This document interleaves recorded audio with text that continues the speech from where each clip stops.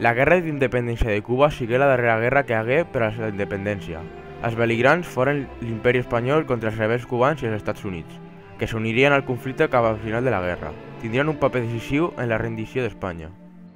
Les causes de la guerra de Cuba foren, en el que a econòmiques es refereix, els alts impostos imposats per part d'Espanya sense la consulta dels seus ciutadans i la restricció del comerç, en quant a les polítiques, foren la manca de drets de llibertat d'expressió, com pot ser el de reunió i de premsa, el fet que era il·legal crear partits polítics i el creixent sentiment patriòtic cubà.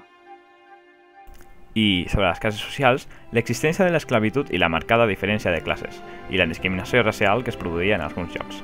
Una altra causa principal sigui l'incompliment del Tractat de Zanjón, que dona fi a la Guerra dels 10 anys.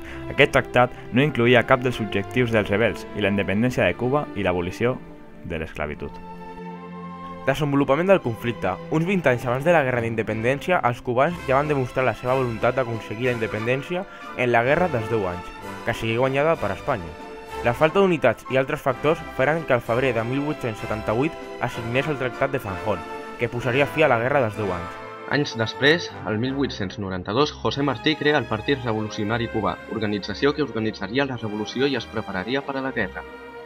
Posteriorment, des d'Haití anirien desembarcant tropes independentistes que s'assentarien per les muntanyes, anomenades vampistes. I, el 24 de febrer de 1895, a ordre de Martí, s'inicia la guerra en la que al principi es nota una mica de falta de lideratge. Utilitzarien la tàctica de guerra de guerrilles evitant el conflicte en camp obert amb l'exèrcit espanyol. Van cremar grans plantacions i alliberaren esclaus, causant així un caos econòmic i social a l'illa. Per l'altra banda, Espanya seguiria utilitzant la tàctica ja dut a terme anteriorment, la repressió i la lluita sense tregua. Al maig d'aquest mateix any, José Martí cau en combat, havent que té a veure amb la falta de lideratge que hem anomenat abans.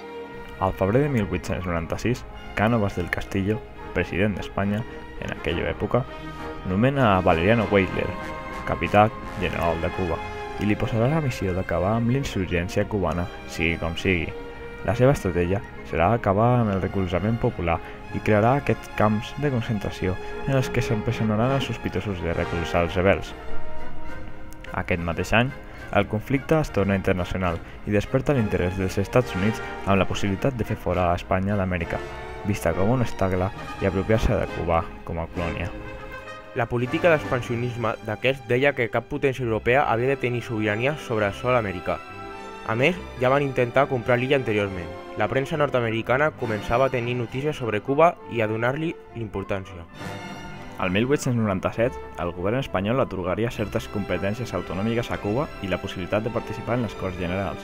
Encara així, aquestes propostes foren refusades pels rebels, que continuarien lluitant.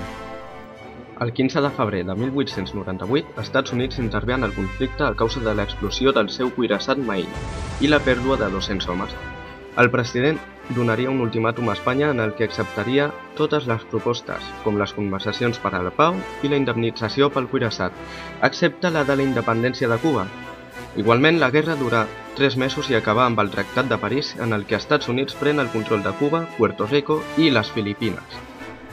Les conseqüències foren que Espanya deixa de ser un imperi passant a tenir un paper secundari en els fòrums internacionals i el començament del colonialisme nord-americà, que esdevindrà en primera potència mundial.